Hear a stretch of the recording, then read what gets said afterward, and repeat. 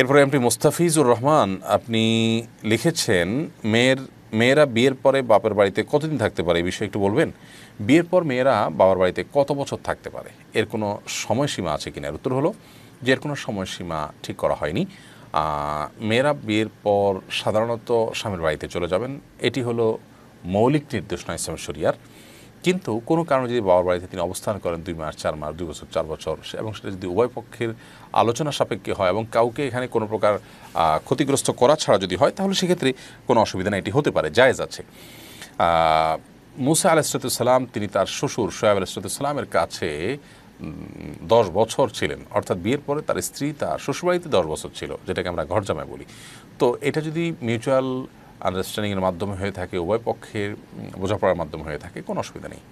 মেয়ে পক্ষ শর্ত দিল যে এরকম করতে হবে বা ছেলে পক্ষ বলল, মেয়ে পক্ষ অ্যালাউ করল, কোনো অসুবিধা নেই। তবে ছেলে পক্ষ যদি মেয়েকে তুলে না নেয় এবং ঘড়িমসি করে এবং বিয়ের পরে শ্বশুরবাড়িতেই ওই মেয়েকে লালন পালন করতে বাধ্য করে শ্বশুরবাড়ির লোকজনকে, তাহলে সেক্ষেত্রে সেটা অন্যায় হবে, সেটা জুলুম হবে ছেলের জন্য।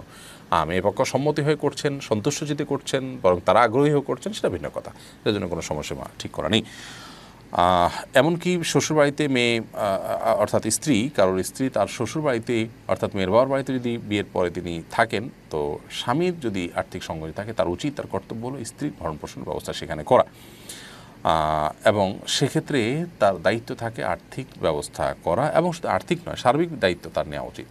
কমপক্ষে আর্থিকটা তাকে নিতেই হবে হ্যাঁ। যদি শ্বশুর পক্ষ লিখেছেন বোনদেরকে দেওয়ার মতো ভাইয়ের তেমন সামর্থ্য নেই।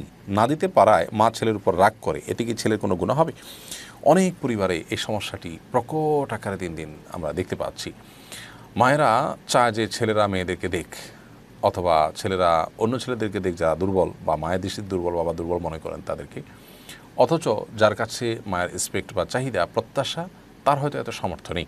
তো তার সামর্থ্য না থাকলে মা যদি তার প্রতি অন্যায়ভাবে এক্সপেক্ট করতেই থাকেন, প্রত্যাশা রাখতেই থাকেন, তাহলে সেক্ষেত্রে সে প্রত্যাশার কারণে সন্তান গুণাগার হয়ে যাবেন না। কারণ অন্যায় কোনো আবদার পূরণ করতে বা অন্যায্য কোনো আবদার পূরণ করতে সন্তান বাধ্য নন বা এটা না করার কারণে তিনি গুণাগার হবেন না। তবে হ্যাঁ তার যদি কোনো রকম সামর্থ্য থাকে, তাহলে সেক্ষেত্রে অন্তত মায়ের প্রতি তার যে তার যে কমিটমেন্ট আছে, মায়ের প্রতি তার যে কর্তব্য আছে, সেই কর্তব্যের জায়গা থেকে তিনি চেষ্টা করবেন যথাসম্ভব মাকে খুশি করার, মাকে সন্তুষ্ট করার। মায়ের সন্তুষ্টি এর বিনিময়ে তিনি জান্নাত লাভ করবেন। অতএব সেই চেষ্টা তার অব্যাহত গতিতে চালা উচিত।